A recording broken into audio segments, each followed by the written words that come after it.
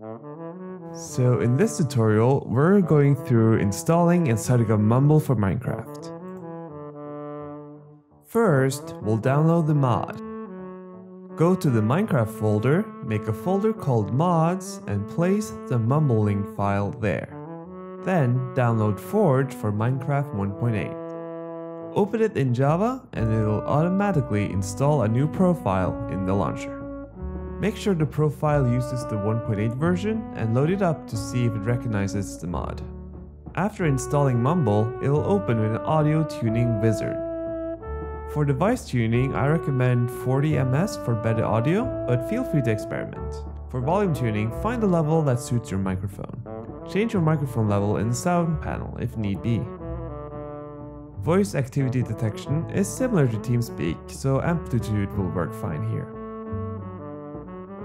For quality, high will work, but we'll go through custom settings in a few seconds. This is a test for positional audio. You should hear a stereo sound going between the left and right channels.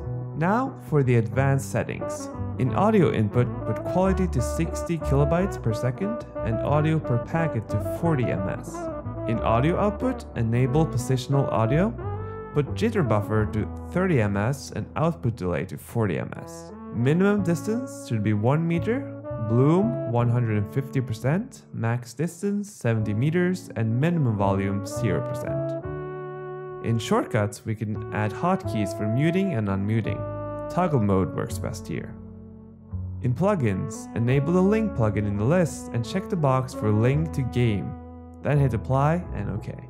To join the server, you add a server by adding a label, IP, port, your name, and server password. Afterwards, try joining a server in Minecraft and you should get this message. There's more info in the description. Now we'll go through the setup on a Mac. Installing Forge and the mod is very similar.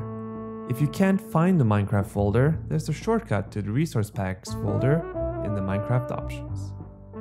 Setting up positional audio is the same, but hotkeys are hard to do. You'll have to give Mumble access to hotkeys in the system preferences.